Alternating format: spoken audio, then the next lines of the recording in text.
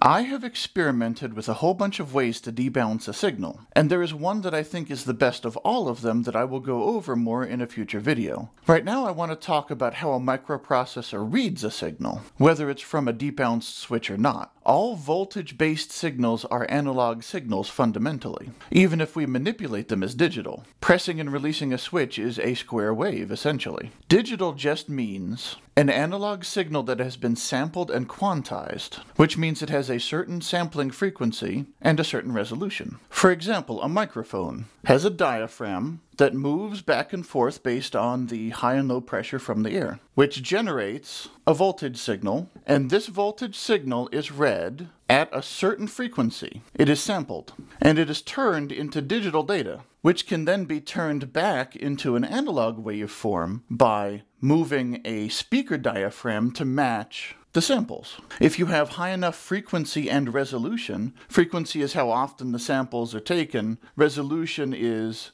how accurate you are, what the actual value is. High enough frequency and resolution, and it will be indistinguishable to a human from a true analog signal. But like I said, even something like reading a switch being pressed or button being pressed is basically a square wave analog signal being sampled by a microcontroller that's trying to see if it's been pressed or not. When a microcontroller reads a digital pin, it will always tell the software high or low, one or zero, true or false, whatever. It'll always be one of the two. You may be familiar with the voltage range from the circuit ground to VCC. You'll read low down here, high up here, and there's an indeterminate range. Now, how indeterminate depends on the hardware. It may just be that there is a threshold in here where it'll still read high above and low below, and right at that spot, it'll be unsure, like if it's using a comparator or something, if you were making your own microcontroller. But the point is, inside this range, whether it's predictable or not, inside this range, the microcontroller datasheet tells you,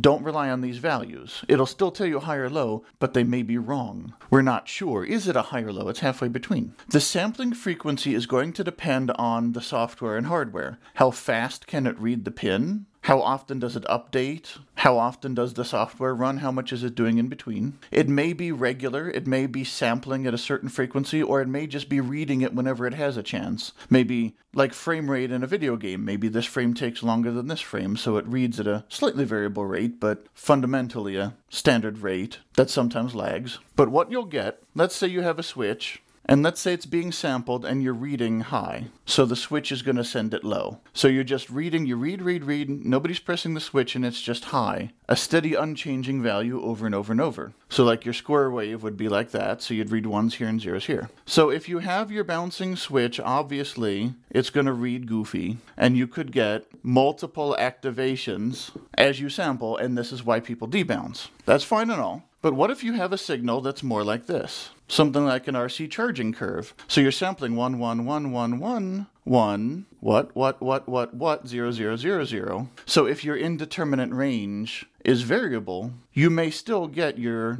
your varying values before you settle on zero. And you might say, how could that be? The hardware is not random, but there's noise. So if you have your nice gentle curve, in reality, it's going to be wiggly. And let's say the cutoff is here, a little bit of noise. Let's say you have your intermediate range. Here is 5 volts, and here is 4.9 volts, and your signal is wiggling. It's going to read high, and it's going to be safely high. You have 0.1 volts of noise, 100 millivolts. But down here, let's say this is the actual cutoff in the indeterminate range. Let's say you've got 3.7 volts here, 3.6 volts here. You've got the same noise, 0.1 volt of noise, but now it's going 10, 10, 10 because it's right at that spot. So you could get multiple activations even with not a debounced or undebounced switch, just a regular signal. And the reason for that is because all of these samples in the intermediate range, it doesn't have to be bouncing to be wrong. There is no way to guarantee that a sample will not be made when a signal is transitioning from high to low. No matter how fast this changes, you could always accidentally catch it right in the middle with its pants down. But what you can do is guarantee that no more than one could possibly be made while it's in the indeterminate range. And if you only have a maximum of one spurious sample, then it doesn't matter. So if we go back to our curve here, so we have our curve, but the time zooms in. Let's say this is fast enough, much, much, much faster. So, like on an oscilloscope, it'd be really sharp. But in reality, of course, nothing changes instantly. So, it still looks like a curve if you zoom way in, but these time separations are very fast. To the point that you're sampling like this. It's so spread out you know, these could be microseconds, partial microseconds, and the signal's changing really fast. So here, you'll definitely get a 1. Here, you'll definitely get a 0, definitely 0, definitely 1. But here, it's in the indeterminate range, let's just say, you know, maybe closer to there. Is it going to read a 1 or a 0? Well, we don't know.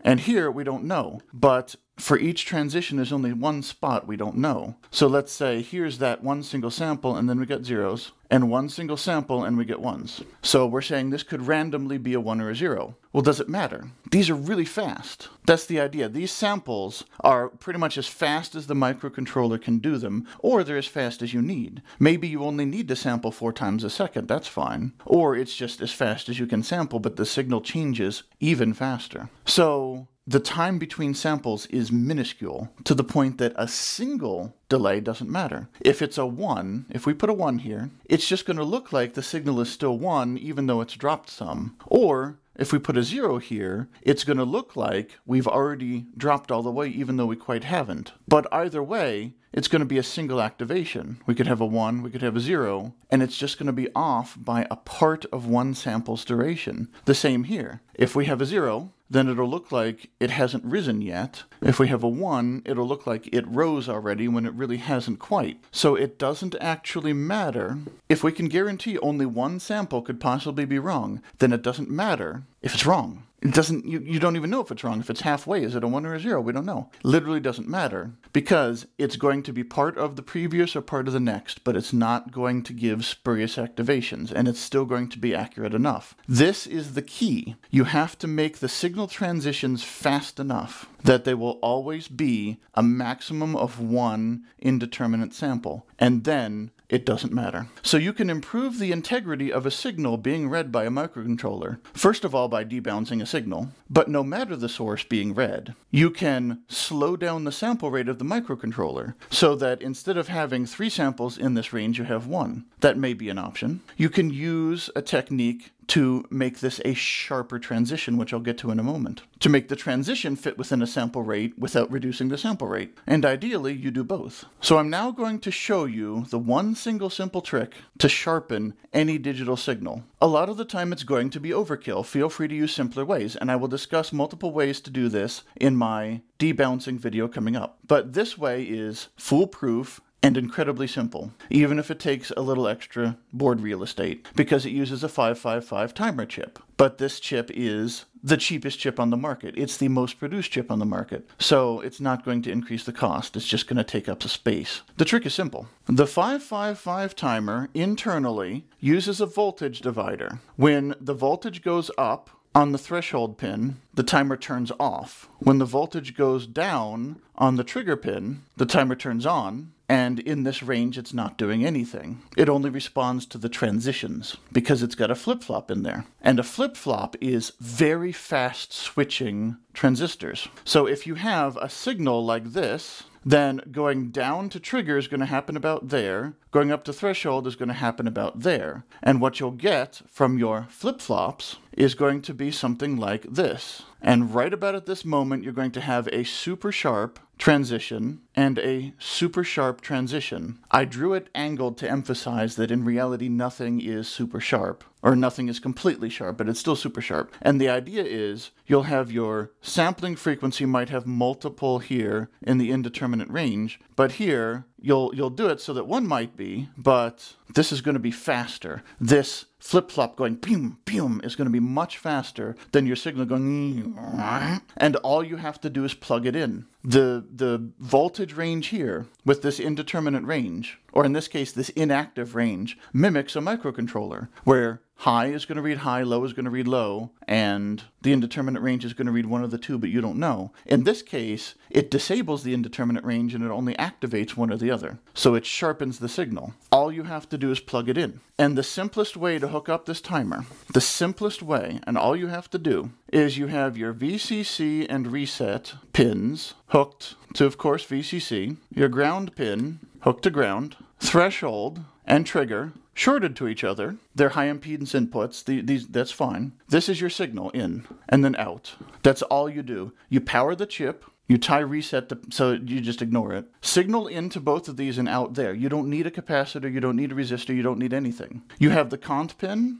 which you usually see with a capacitor to ground. You can, but you don't need to. That's an anti-noise measure. Having a capacitor between positive and negative there is also an anti-noise measure. It's optional. Um, you have the, your discharge. That's an open collector input. So that, you don't even hook that up. You leave that floating, it's perfectly fine. It's not going to do anything. It's an input. And that's it. Short threshold and trigger together with your input. Power the chip, power the chip, out is your output. You can ignore cont, you can ignore discharge. So you do need a chip. You need a 555 timer chip, but you don't need any extra components behind the chip. And if it's a printed circuit board, you just need traces. And that is the ultimate foolproof way to sharpen a signal. And it's going to be so sharp. I don't know that you're going to have a microcontroller that could possibly sample two times during the transition of a flip-flop between high and low. If you do, that's a really good microcontroller or a really crappy timer. But anyway, like I said, it's probably overkill. But it's easy. It's one of those things that you just remember. Anytime you need it, boom, done. That's one thing about hobbyist work that I've discovered. It's nice to have a whole bunch of things, like I need a buffer, op amp, wire it up, done. It's just in my head. I can just plug it in and put it down, and I don't need to think about it and engineer a whole doggone circuit. Just plop the op amp in there and you're done. So this is the way I sharpen any signal whatsoever. But if you're interested in a further discussion of this and more examples, watch my debounce video coming up. Until then, I'll be seeing you.